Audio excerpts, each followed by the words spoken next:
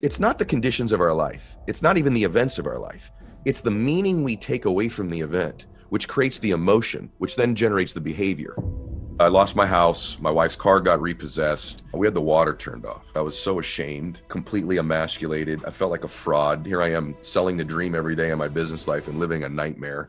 There's two types of people in life those that operate out of their history and their memory. Then there's happy and successful people. They operate out of their imagination and their vision. Eventually, the one shows up, the one who changes their total trajectory. It could be their emotional trajectory, their viewpoint on the world, their wealth, their abundance, their spirituality, but eventually the one shows up. I didn't get it just because I wanted it. I fought for it, I battled for it, I wanted it badly. I went broke. so, uh, and by the reason, the what, let me tell you why I went broke. I write about this in the book quite a bit my identity wasn't of a wealthy man. Mm. Your identity is the thermostat setting of your life. It's really your worth. It's the thoughts, concepts, and beliefs you hold to be most true about yourself. What started to happen is my results started to exceed what I believed I was worth. And I turned the air conditioner on and cooled myself right back down to who I thought I was. And we do this in every area of our life. We do it in love we have a 75 degree love identity and we start meeting our dream person. You ever see that? And then a year later, you broke up and you're back alone. Or you, you have a 75 degree fitness identity, you lose the 20 pounds a year later. It seems coincidental, it's a fluke, and you've gained the weight back. You will always get your thermostat setting. So the key thing in life is to turn that identity thermostat higher and higher. And I talk extensively, as you know, in the book about how to do that. Pretty heavy, actually. And what happened was I went broke and uh, I lost my house. My wife's car got repossessed and I lost the power in our house, which is all bad. But if you've ever experienced this one, we had the water turned off. Mm-hmm. And uh, even talking about it now is hard for me. I mean, and I talked about it a lot. I haven't done it in a while. But we would have to get up in our apartment complex and climb down the stairs in the morning and go to the pool. And there's an outdoor shower there. And my, I'd hold a towel up where my new bride would take her shower so no one could see her outside, brush her teeth, then we would switch and she'd hold the towel up and I'd shower and brush my teeth. And then we would walk back. And whenever we would walk back, I was so ashamed, completely emasculated. I felt like a fraud. Here I am selling the dream every day in my business life and living a nightmare. And it was one of the most difficult times in my entire life. I was very humbling, very humiliating, but it makes me grateful for what I have now. And I tell people often, it doesn't happen every morning, but I would say nowadays it happens maybe twice a week where I live at the ocean. So when I wake up in the morning, I'm looking at the Pacific Ocean, the waves crashing. When I leave here, I go to my island in Maine. I live on my own island. I look at the Atlantic Ocean. It's pretty cool. And I'm very grateful for that. But not as grateful as some mornings when I turn the water faucet on in the shower and the water hits my face. and, I, and I literally have this flood of gratitude because of those moments back in the apartment. And I literally just say, Thank you, God. Thank you so much. I'm more grateful for the water coming out of the shower than I am the ocean I look at when I wake up. And the reason for that is those moments. And so thank thank God that I'm still grateful. And uh, sometimes our greatest pain will give us our greatest gratitude later. And I can tell you that that is very true for me. Speaking of gratitude and your wife, she called you out when you had felt all emasculated. And then you had another buddy of yours that called you out at a restaurant God, Can you talk a little bit about how in the world do you do this? it blows my mind. Yeah, my wife who knew me, you know, she knew me. The she knew the confident college guy me. She knew, you know, my background and and uh, you mm-hmm. know the truth is I was down and I was getting up later and I was laying around the house and I was you know, uh, not being the guy I was capable of becoming. And she finally sat me down. She was working, by the way. She was supporting us. She had the job. People see me now, they're like, ah, Mr. Superman. Not so much. Not at all. And uh, she basically called me out and said, Hey, listen, this is it. You need to cut it out. This is not who you are. You were born to do something great with your life. You're not being the man that I grew up with. You're not the man that I know. You need to get your crap together because I'm getting up early and going to work every day. And every time I come home, you're sitting on the couch eating Cheetos and not getting our life together. And so she called me out. And about the same time, another buddy of mine I work with is like, we had just done a sales meeting. And he's like, Who the heck was that guy? And I go, What do you mean? It was me. And he goes, Bro, you seem so desperate, so unconfident. I mean, mm. bro, you're the one who always says certainty is influence, right? The most certain person influences. You seem the least certain. It was pathetic. You got to wake up, man. You're better than this. And it was just, I was so in this pattern of self loathing and down on myself and repeating this story. I was telling myself this story of I had it going, I had it, and I blew it, and I had it. And I was manifesting this story over and over again because we really are the story we tell ourselves. And then finally, this buddy of mine who doesn't even know nothing about nothing goes, I go, bro, I'm just so down on myself. Then this just sucks, this situation I'm in. I'm broke. I owe everybody money. And he goes to me, and he didn't even know what he was talking about. He goes, What would you need to believe about this so that it would actually serve you? Hmm. We're driving. I go, I don't know. He goes, Well, no. No. What would you need to believe about this so that it could actually serve you? I'm like thinking about it. I'm actually kind of pissed at him for calling me out, but but I grew up with him, so he's the best man at my wedding. I go, well, be a hell of a comeback story. One inspiring thing to tell people someday. I swear to you. I said, I said, man, would that be a heck of a story? I had no water. Now I'm a multimillionaire. Man, my wife's calling me out. My best friend's calling me out. Now I'm successful. And here we are now, many, many years later, and exactly what I said is happening. So I had to flip. It wasn't the it's not the conditions of our life. It's not even the events of our life. It's the meaning we take away from the event, which creates the emotion, which then generates the behavior. So it's never the event. You and I, for example, you and I could roll up on a car accident, terrible situation, and a family's going to die. And we run up and the family's passing away. You and I would say, this, this is tragic. Mother Teresa would roll up to that same car accident, same exact event, take a totally different meaning from it. She would tell you when she was alive, this is the honor of my lifetime to be mm. present with a human being as their soul goes to heaven. Mm. Totally different meaning, completely different emotion, completely different behavior, same event. So it is true that it is not the events of our lives that define us. That's why, in some cases, you can take two children raised by an alcoholic father, and one goes down a spiral of repeating the entire, the entire debacle, and the other one becomes a mega achiever or happier person. Same event, different meaning different emotion, different behavior. And do you remember what your your idea of success was back in those days when you were having those conversations with your wife and your friend? Yeah, I think it was more shallow. I think candidly when I was younger because we didn't have things, but I lived near people who did. So I mm-hmm. lived in a neighborhood like in the down in the hill, like in the bottom of a hill, and all the rich people lived up on this hill. Right?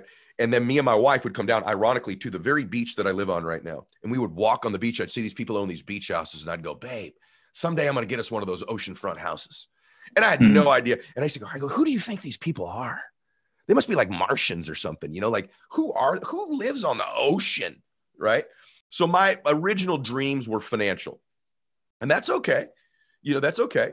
And I found out that, you know what I found out, by the way, about rich families or happy families? That at some point in their lineage, way, way, way, way back, they weren't. They mm. weren't happy or they weren't successful financially. And then the power of one shows up. In the book, the second chapter is called The Matrix. I teach you about your reticular activating system. As you know, I go very deep on programming your RAS, the prefrontal cortex of your brain, to find the things you want. But I use Neo in the Matrix as an example because what is Neo in the in the Matrix called? The one. And in mm. every family, eventually the one shows up, the one who changes their total trajectory. It could be their emotional trajectory, their viewpoint on the world, their wealth, their abundance, their spirituality. But in every family, eventually the one shows up. In my family, I'm the one. I'm the one. I didn't get it just because I wanted it. I fought for it. I battled for it. I wanted it badly. What I didn't know was that what I was really changing wasn't our financial status because that's great but I have changed the way my family thinks. I've changed our viewpoint on life. I've changed how much we want to help other people. We actually do dream as a family. As you know in the book, and then I'll come up for air, I say there's two types of people in life. Those that operate out of their history and their imagine or their history and their memory. They just keep repeating their history and their memory and they operate out of it all the time. Then there's happy and successful people. They operate out of their imagination and their vision when we're children, the reason we're happier, I honestly believe, is our imaginations are flourishing. And as we get mm. older and we get into the world and we sort of get put in our box and, you know, our imagination gets suppressed, our dreams get suppressed. And dreams and imagination are a little bit different. And our vision gets suppressed. And we just start to operate out of history, out of memory. And every day's like the other one. Or, and by the way, even when the external conditions change, the internal emotions are still the same history, the same memory. And so we change the external, but inside we still feel the same sadness, the same anxiety, the same worry, the same frustration, the same depression. So, but if you can begin to imagine a different emotion, dream about the different emotions, and instead of just getting intentional about your goals, what if you started to get intentional about the emotions you want to experience in your life? Because all the goals you have, you only want them because you think they'll make you feel something. Why not shortcut it and get consistent and congruent about what you want to feel? What you'll find is mm. if hmm. you can feel those things, you'll actually get the goals faster. Hey, really quickly, if you like this content or if you don't like it, let me know down in the comments because your likes and comments are going to help me learn what you want more of. And then that way, I can keep bringing you the good stuff. All right. Thanks so much for your feedback and back to the show. What's interesting about your story in particular is, you know, I think we live in the society today where people want to know what the habit, what your morning habit, you know, oh, yeah. oh, Ed jumps into cold water. I, I, need to jump into cold water and then I'll be successful. Or Ed, you know, does this or that and I'll yeah. be successful if I do what he did. What they, what they oftentimes miss is that actually, actually, if you really look deeply at the story, Ed found his mindset in the unlikeliest of places in this McKinley home for disadvantaged boys. Yep. And that's where everything came together because you realize that your dad, your alcoholic father, had been inadvertently preparing you to not only have the impact that you had with those boys, but also to see life differently, to shift away from that shallow understanding of success to something completely different. So, just talk a little bit about that transformation. This may be my favorite interview ever. um, I'm not kidding. So, again, my, everything happens for us and not to us. I think every thought leader says this now, but I can prove it to you. So, my dad's first AA meeting, again, my dad's drinking, my dad's first AA meeting, he comes back, goes, I got you a job. And I'm at home, flunked out of baseball, graduated from college. I'm living in the same bedroom I grew up in, same teddy bear on the bed, same poster on the wall, eating out of his fridge. I said, Okay, well, what's the job?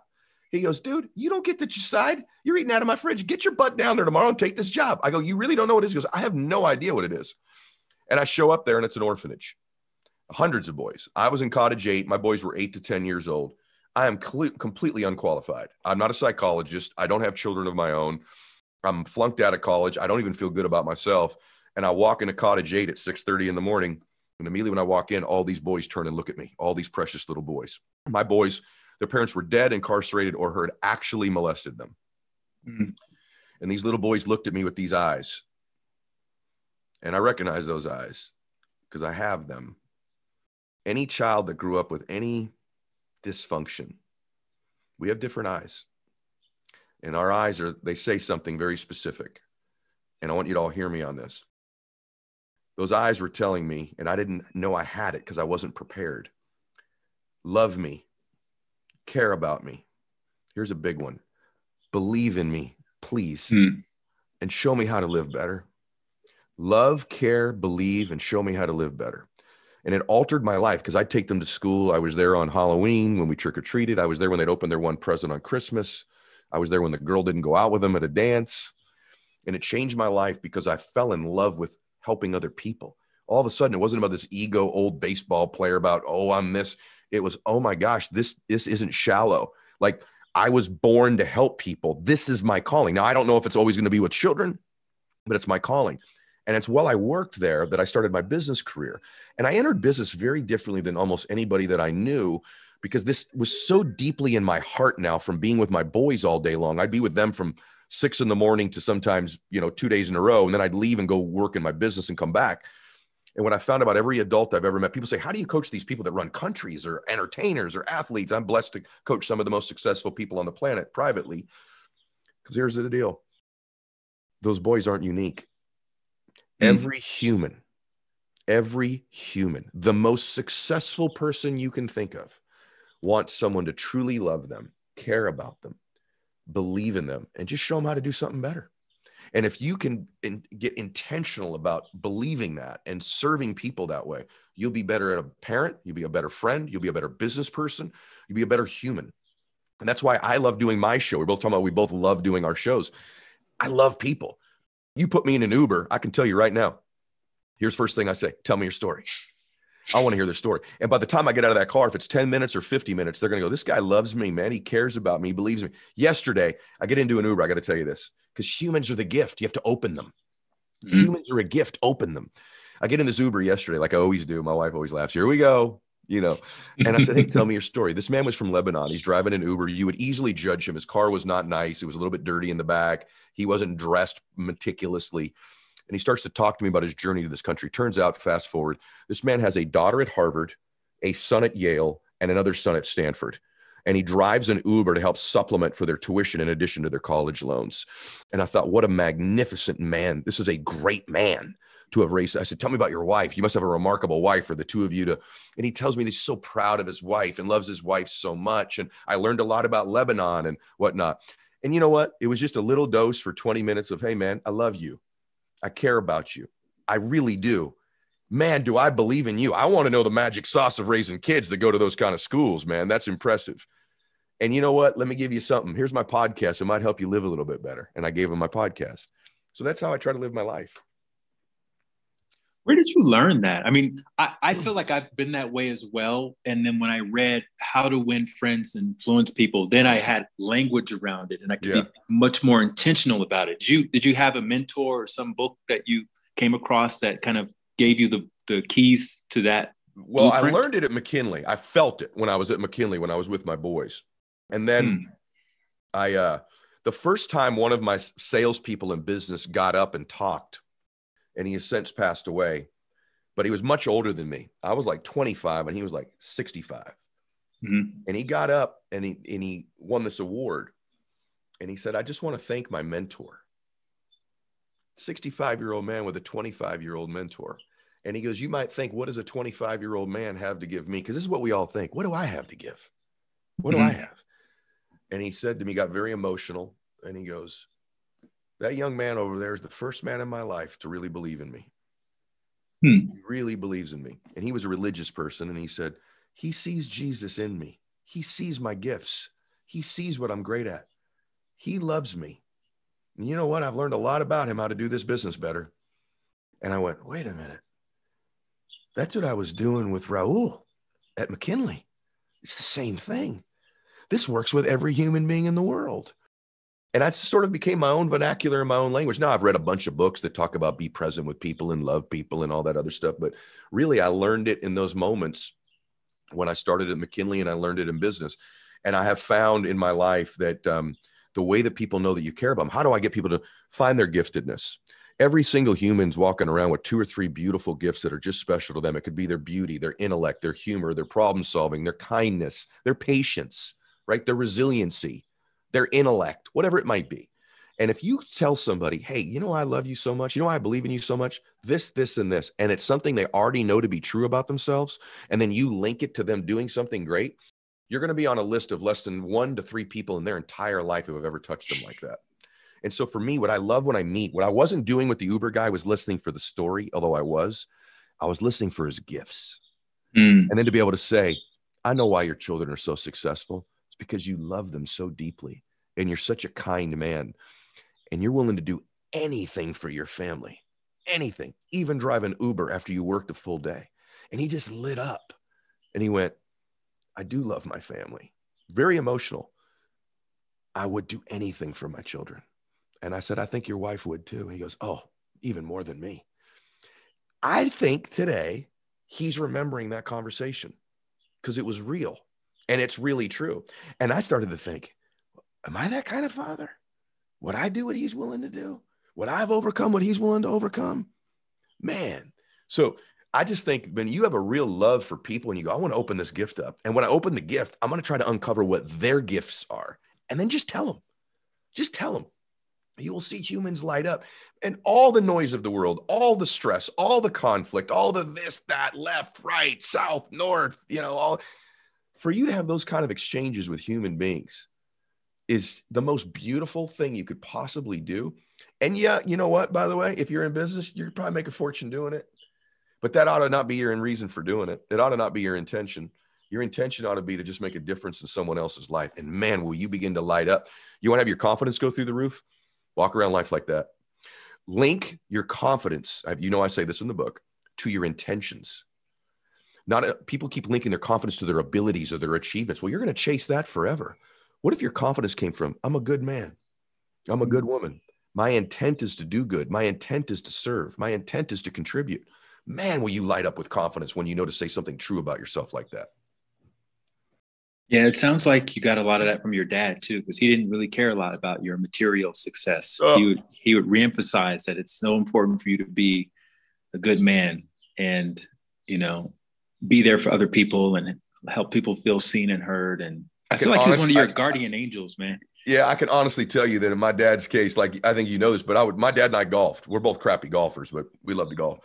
And I would say, Hey dad, let's jump on the jet let's fly to Maui and play some golf. I got a business meeting over there. My old man was, my dad never went on my airplane. My plane was parked. My dad could walk from my dad's house. Well, it would be a long walk, but he could get to the, he could get to my plane in three minutes in a car. Hmm. My father never went on my private jet. I've had five of them. I don't say that to brag. I say that to you that he had five opportunities, never went on it. I would say, Dad, let's go to Maui and play this great golf course on the ocean. This is how beautiful and simple my family is. My dad would go, well, why, why would we do that? We could just play, we could just go play El Prado in Chino, the Muni. I said, but dad, it's crap course. He goes, I don't care about the golf course. I get five hours with my son. Mm. I don't care about the golf. And this is a lesson. You want to know the power of one more? I take it from you. Then you understand how beautiful having one more chance is, one more decision. My dad died last year. I told you my favorite things to golf. What do you think I would do right now? What I would give for one more round of golf with my, I can't even say it. You had me crying in your book reading that part. I was like choking up. yeah, I haven't, I haven't, I haven't not said that out loud since I wrote it. It's the first show I've said that on. He died in October 2020, so I'm not even sure if you could even be in the room, you know, when all of that was happening. Yeah, I, I was, I was with him when it happened. But do you know what I would give for one more round of golf with my dad? It, just to see him. Hey, Dad, good putt. Yeah, it was pretty good, wasn't it, Eddie? You know, what would you give if you've lost somebody for one more conversation? If anything. Right. What how precious are people once you start understanding when I take the one more from you? And if you have people here that you still love, what if you started to approach that time when you walk in the room? What if this was the last one? What if I only had one more conversation, one more dinner, one more whatever it is with them? If they have passed away like my dad has, honor them with who you become with the one mores in your life. But I can tell you when you shrink it down, by the way, you're going to have one more day someday too. You're going to be my dad someday where you have one more day, one more hour, one more breath.